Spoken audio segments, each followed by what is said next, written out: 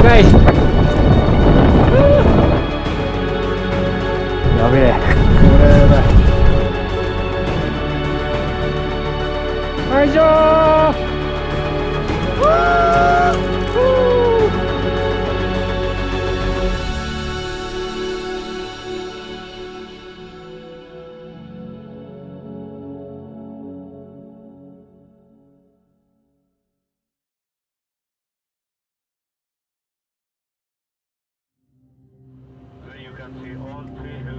日本から約6000キロ。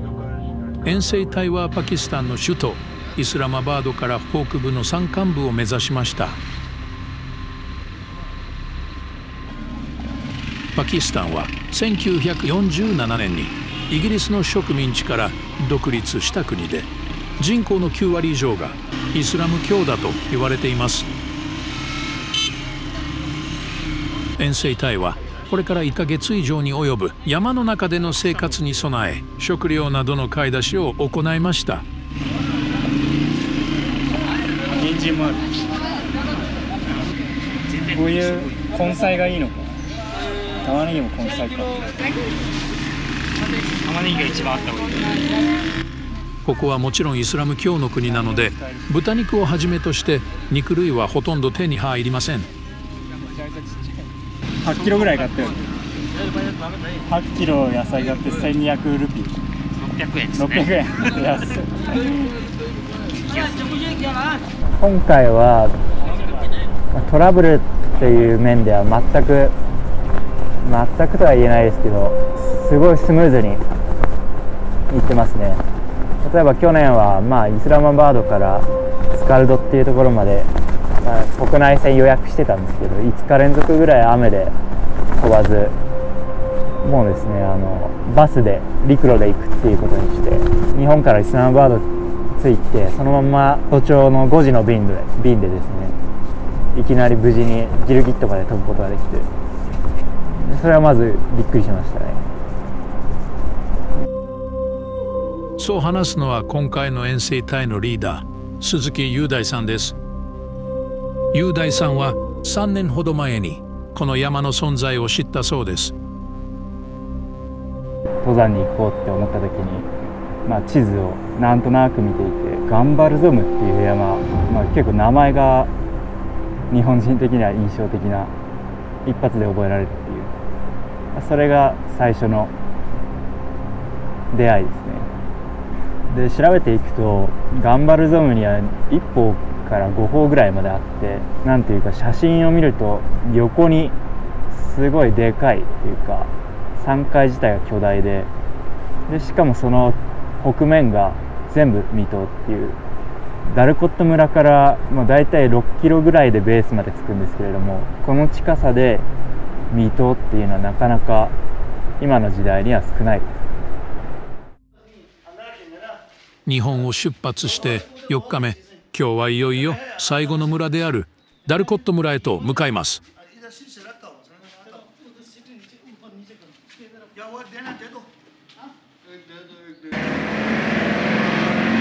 慌ただしい出発だった本当ですね。ゆっくりできるはずだったのに。ダウンロードも何も終わってないですよ。あれ何のダウンロード？えあいや映画とかの。ああ 準備して頑張る一日あっては無理やったんじゃない？無理だった。と思うけどネットワークがでもあのすぎて強力な w i f i のカフェに行ければ。あ 今日のコーティは Google マップだと3時間。しかしここはパキスタン。そんなにうまくはいきません。なかなか Google マップのタイム通りには全然進まない。いやーそうっすね。まあそれはしょうがないっすよ結局6時間をかけて途中にあるグピスという町で一泊することになりました。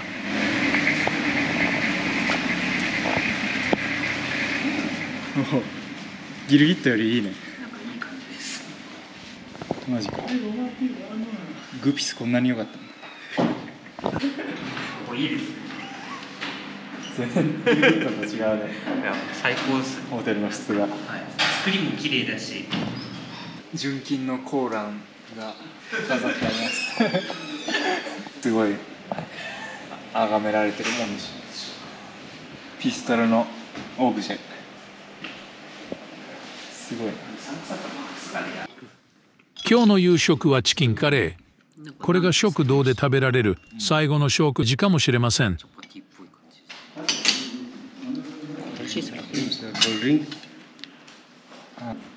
れ頼みすぎたねでも味はうまいです。翌日はあいにくの天気。雨が降ると川が氾濫し道の上も川になってしまいます。それからダルコット村までハイエースみたいな。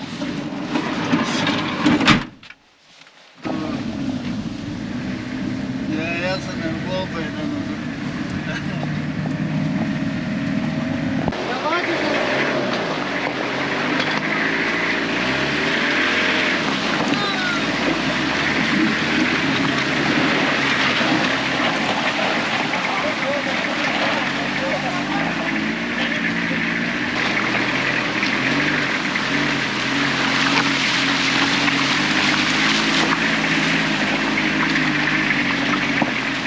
そして遠征隊はようやく最後の町ダルコット村へと到着しました。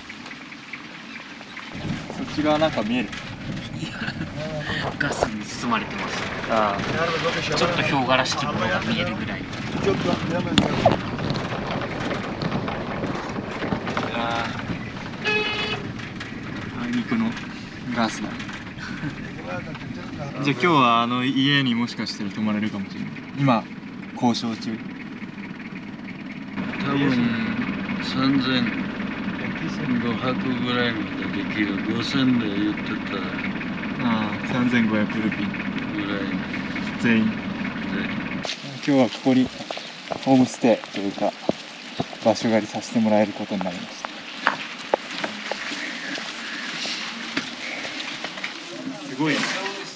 めちゃくちゃ快適です ラッキいくらでしたっけ？こー3500ルピーだからあー。1700円。れ安いっす5人で。今日はダルコット村の民家に泊まらせてもらうみたいです。結構すごいね。ショーが急だね。はい。当初の予定だとあっちの奥の？うん奥の方に入ってくけど。雰囲気は多分あれに似てるんだろうから最終的には。しかし翌朝ガンバルゾムが姿を現しました。多分太陽どう？ご対面。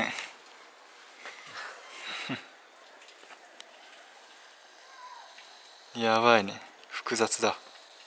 ガンバルゾムは5つのピークからなる巨大な山体を持ち1973年にイタリア隊に一方が登られた以外には記録がなく北面は全て未踏の手つかずの山が残されていますあれがガンバルゾムメインでこれが尾根か。もうほぼずっとクライミングって感じだね。うんめちゃめちゃでかい、えーこれが4一番左。3 2 2と1がちょっと分かりづらいね。1というかメイン。じゃあ行ってきます。今日はいよいよ山の1度目の T サーツを兼ねてベースキャンプの場所を決めに行きます。ガンバルゾームの偵察1回目に行きます。まだ登れそうなのかどうかもわかんないんで楽しみです。ガンバルゾーム1から5のどっかしらを。弱点見つけて。相当難しそうだなどれも。今いるベースが2600700しかないっていうのが普通ヒマラヤだとこういうとこでもう4000以上あんのに。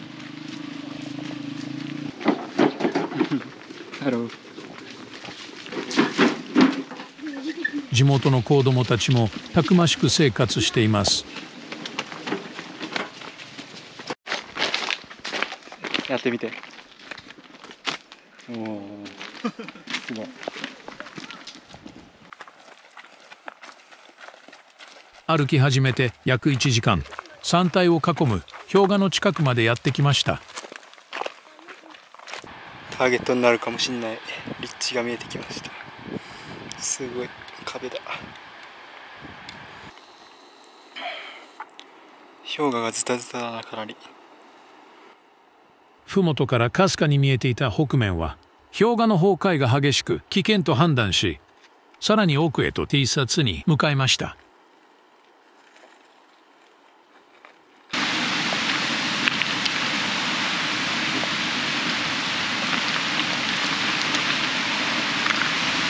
氷河の雪解け水が勢いよく流れています。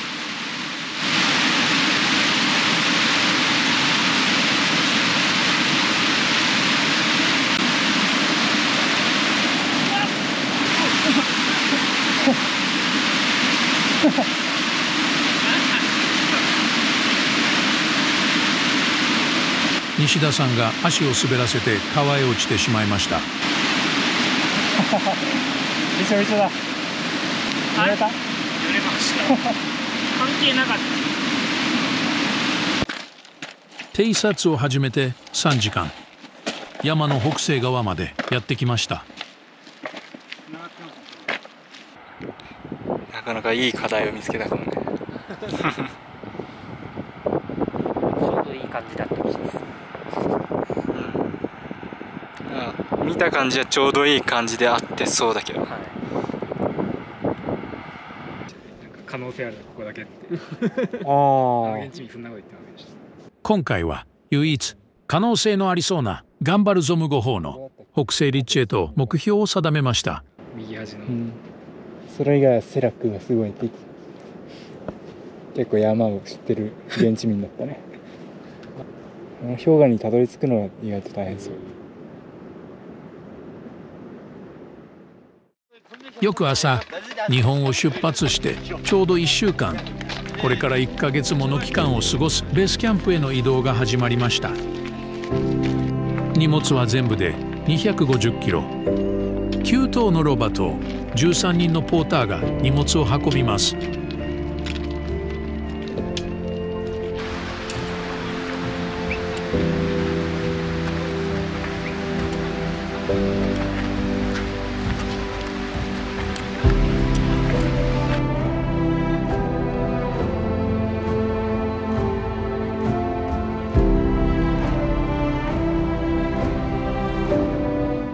出発して3時間。無事に全ての荷物の運搬が終わりました。明日からいよいよ本格的に登山が始まります。スパースの45人用かな。バイバイ。Thank you Thank you. Thank you また連絡しますから。待っててください。ありがとうございますあ Thank you Thank you これが目標の頑張るゾーン5ですね。ただ今のところ右側のスカイラインの立地で考えてます。すごい複雑だな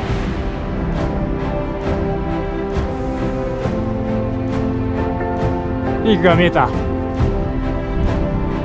一番高く見える真ん中がガンバルゾム5から先はもう岩か雪しかない。疲れ。